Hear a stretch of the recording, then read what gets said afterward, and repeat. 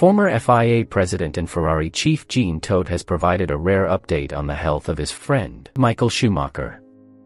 Details of the seven-time world champion's condition have been kept largely under wraps since he suffered a near-fatal skiing accident in 2013. Schumacher was skiing in the French Alps almost nine years ago when he fell and hit his head on a rock.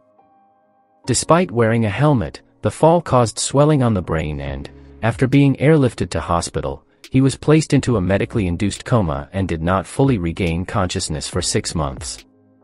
In years gone by, details have emerged such as Schumacher having problems with memory, movement and speech. He has not been seen in public since the accident. Todt was at Ferrari when Schumacher was brought in from Benetton and remained in position as the German won an unprecedented five consecutive world titles between 2000 and 2004. On Wednesday, the 76-year-old shed more light on Schumacher's condition.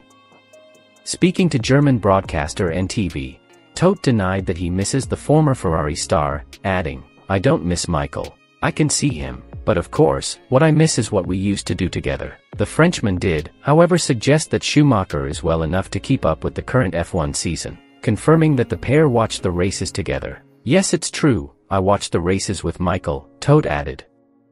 Michael isn't fully recovered, but it's good to hear that he's able to watch his son race in F1. That's all the info we have at the moment. Please consider subscribing so you don't miss out on the latest F1 news. And as always thanks for watching.